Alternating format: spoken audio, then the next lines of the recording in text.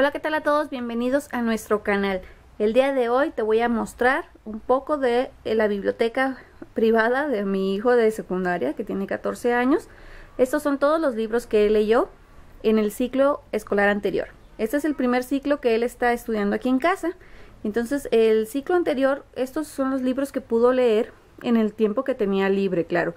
Porque acuérdense que los niños escolarizados, pues apenas tienen tiempo de tener vida propia, ¿no? Porque entre tareas, trabajos y demás, no les queda mucho tiempo libre.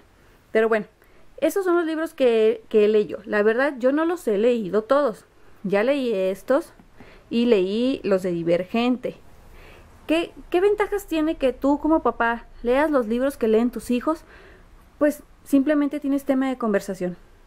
Tienes tema de conversación, puedes conectar con ellos, puedes intercambiar ideas, podemos eh, discutir acerca de, de, en este caso, por ejemplo, que en los dos hay película, podemos discutir todos esos elementos que nos incluyeron en la película y que hicieron falta o que no ayudaron a contar bien la historia, etcétera. Es muy enriquecedor cuando compartes ese tipo de cosas con tus hijos.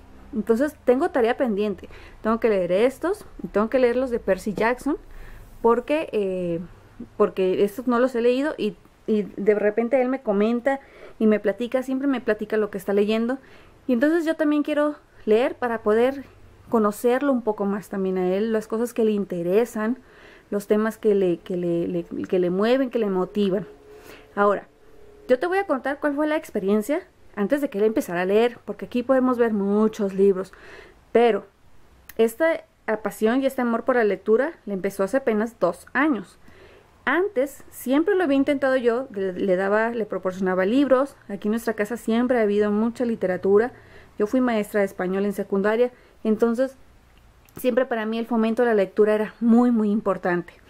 Pero a él no le gustaban los libros que yo escogía. Yo escogía libros que yo consideraba que era importante que él leyera como parte de su formación, de cultura general, etcétera. Pero así no es como vamos a sembrar ese amor y ese gusto por la lectura en nuestros hijos, se los digo por experiencia. Tenemos que dejar que ellos elijan sus propios temas. Hay niños que no saben que les gusta leer porque simplemente no han tenido contacto con un libro que, que tenga un tema que les, que les apasione, que les guste. Piensan que todas las historias son aburridas, pero hay de todos. Tenemos ciencia ficción, tenemos fantasía, tenemos... Eh, no sé, tenemos suspenso, hay muchos, muchos géneros. Y ahorita hay muchos, muchos eh, títulos para jóvenes. Entonces, la próxima vez que tú quieras que tu hijo tome un libro y se ponga a leer, llévalo a una librería, déjalo que indague, que investigue, que vea, que, que lea las reseñas de los libros y que, y que elija el que a él le guste. Si ese libro lo engancha y le gusta, créeme que no va a soltar la lectura. Y ya después, cuando ya está enganchado a la lectura, como es el caso de mi hijo, bueno, entonces sí, le metemos por ahí un libro que nosotros consideremos más importante o más interesante que lea. Pero no hay que, no hay que juzgar sus gustos, ¿sí? No hay que decirle, ay, ese libro es totalmente comercial, eh, no te deja nada bueno, ay, esas historias que son para niños, qué sé yo. Comentarios que, que lo hagan sentir que, que lo que le gusta no es importante puede que a nosotros no nos guste, pero hay que, hay que dejarlos que ellos lean. Ahora, también hay que tener cuidado con lo que leen, ¿sabes? O sea, no, no porque eh, mi hijo esté pegado a un libro quiere decir que el libro sea, sea positivo para él. Yo a mí me tocó ver como maestra, maestra muchas eh, lecturas de mis alumnos que no eran apropiadas para su edad, sobre todo de niñas. Niñas a nivel de secundaria eh, que estaban ya leyendo, qué sé yo, las 50 sombras de Grey. No me parece una lectura apropiada para la edad de las niñas. Entonces también como papás hay que cuidar un poquito eso. Hay que enterarnos de qué están leyendo. Hay que leer la reseña por lo menos. Y si leemos el libro, pues qué, más que mejor. Bien, entonces eh, te presento los títulos. Te digo, no solamente conozco estos dos, bueno, y Percy Jackson, que son los que he leído. Los otros te mentiría si te dijera de qué se trata. Pero bueno, si a ti te, te, late, lo puedes buscar en internet y buscar la reseña y ver si te interesa. Este, primero los que leyó primero fueron los Juegos del Hambre. Susan Collins. Estos, como saben, hay película. Tenemos eh, Los Juegos del Hambre, tenemos En Llamas y tenemos Sin Sajo. Son tres libros. Después leyó los de Divergente, que son este, Divergente de Verónica Roth, Insurgente y Leal, que también son tres. Y también hay película de ellos. Después leyó la saga de Hush Hush, que tenemos Hush Hush, de, perdón, de Rebecca Fitzpatrick. Tenemos Crescendo, Silencio y Finale. Y de la misma autora, como ya había leído la saga, bueno, le interesó buscar más sobre el autor y leyó este de Hielo Negro, que también es de este mismo autor. Y acá tenemos los de Percy Jackson, que también hay película, y son cinco libros, tiene uno prestado ahorita. Eh, y entonces tenemos el, primero, que es, te les digo cuál es el primero. El, el primero es El ladrón del rayo, el segundo es El mar de los monstruos, La maldición del titán, La batalla del laberinto, y el último Héroe del Olimpo, que son del autor Rick Riordan, que también ya quiere conseguir mi hijo los, que, los otros libros de, Percy Jackson, bueno, de, historias de, los personajes que salen en esta, en esta saga. Ya, bien, ahora pasando a otro punto, déjate, mando para acá los libros. Ahora, eh, para este nuevo ciclo escolar, obviamente no quiero que pierda el gusto por la lectura. Entonces, hemos tenido como una especie de, de acuerdo. Ahora que está aquí conmigo, bueno, va a seguir con las lecturas que a él le interesan, obviamente, porque eso les dedica mucho más tiempo de las lecturas que yo le dejo. Entonces, bueno, aquí en mi, en mi libro, bueno, en mi en mi cuaderno de planeación, vamos, que a mí me gusta usar cuadernos porque me hallo más con ellos. No sé trabajar con carpetas. Descargué una vez una agenda muy linda, pero no, no me funcionaba a mí. Entonces tengo aquí el plan de lecturas para eh, la escuela en casa, que trato de meter libros eh, de, la, literatura universal, clásica, y bueno, eh, de autores que me gustan mucho a mí, como Alan Poe. Y aquí voy a estar haciendo un registro de los libros que él lee al mes, que son sus lecturas, lo que él elige leer. Entonces, por lo pronto aquí en agosto, como podemos ver, ya leyó cuatro libros. Ya leyó, em, estaba leyendo esta saga de Partias, entonces leyó fragmentos, leyó runas, que son del autor Dan Wells, y también eh, empezó con el primer libro de la saga de Correr o Morir, de James Dashner.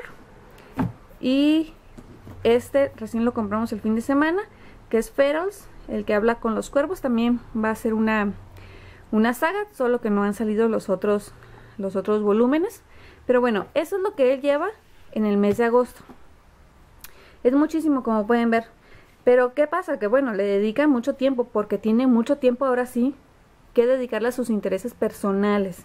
Porque ya no tiene que estar pendiente de si hay exámenes, que si hay trabajos, que si hay tareas, él puede disponer de su tiempo para lo que él guste y en este caso ha sido la lectura. Ahora, el primer libro del mes, que fue, que ahora en agosto, que empezamos nosotros en agosto, yo le puse Los Miserables. Como pueden ver, esto es lo que lleva en el mes comparado con los cuatro libros que ya leyó. ¿Qué pasa aquí? Yo le pongo de esta lectura, del libro que yo elijo para él, le pongo media hora al día de lectura, 20 o 30 minutos. En ocasiones no podemos hacer esa lectura porque tenemos más trabajo con los libros de línea, que es a través del, del instituto que va a acreditar su secundaria. Entonces le hemos dedicado un poco más a llenar esos libros.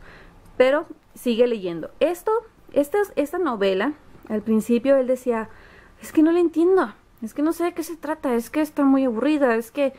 Y conforme fue leyendo, bueno, se fue emocionando, se fue entusiasmando y después solo me decía, ah, pero es que pasó tal cosa y luego pasó lo otro y estaba ya enganchado en la historia. Entonces, ahorita le, ha gustado, lo sigue leyendo bien. Lo que pasa es que, como les comento, no le hemos dedicado mucho tiempo. Pero entonces, conmigo, aquí en Escuela Casa, es media hora mínimo de lectura del libro que yo elija. Y en su tiempo libre puede leer lo que él quiera. Los libros que él quiere y dedicarle el tiempo que quiera. Este, por ejemplo, lo acabó en tres días. Y otro por aquí también como en tres, cuatro días lo acabó. Entonces, cuando le gusta la historia, es, es se vuelve adicto y, a veces tenemos que apagarle la luz en la noche para que ya duerma porque, porque se engancha y quiere terminar. Bien, te comentaba que tenía yo una lista de libros que yo le que son mi elección para él, vamos. Entonces tenemos Los Miserables para ahora en agosto. No creo que lo termine en agosto, obviamente, pero bueno, cuando lo termine anexaremos otro. No importa en qué mes estemos. También le voy a poner la Iliada y la Odisea. Este tipo de libros esta versión o esta editorial me gustó porque al final tiene como una especie de, ejercicios sobre eh, una guía de trabajo, ejercicios de lectura de comprensión. Entonces se me hace muy interesante porque al final podemos constatar o corroborar que haya hecho una buena lectura.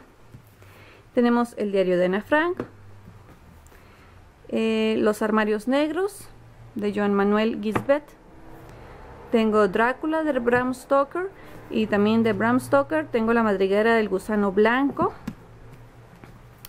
Tenemos Cuentos de amor, de locura y de muerte de Horacio Quiroga. Cuentos de horror de Edgar Allan Poe. El cuervo y otros cuentos también de Poe, y al igual que El escarabajo de oro y otros cuentos.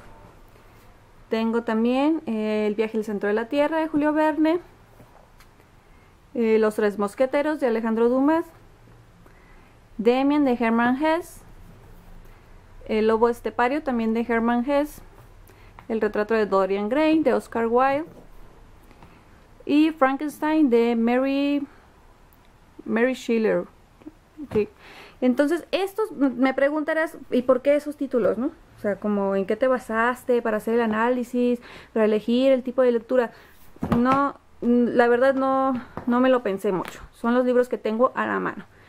Son los libros que tengo que pueden ser interesantes para él y que son importantes eh, aportes a la literatura universal.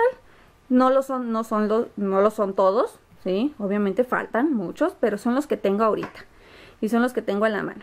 Ya la próxima vez que vayamos a la feria del libro, pues nos surtiremos de más libros para ponerle de lectura en casa.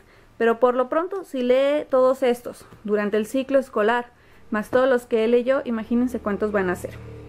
Ahora, el fomento de la lectura de nuestros chicos es muy importante, desde niños. Desde niños les leemos cuentos, les proporcionamos mucho material, pero después cuando crecen, por alguna razón, nos alejamos de eso y ya no les proporcionamos cosas que, que sean interesantes para ellos o no los dejamos escoger lo que ellos quieren. Entonces hay que guardar un equilibrio, yo creo, entre lo que nosotros creemos que es bueno para ellos y lo que ellos quieren elegir. Siempre y cuando, bueno, también chequemos que sean lecturas adecuadas, acordes a su edad o, o, a, o sí, a su edad. Eh, ya sea porque contengan mucha violencia o contengan mucha información sobre temas que no queremos que ellos conozcan todavía, qué sé yo. Pero lo importante es que lean.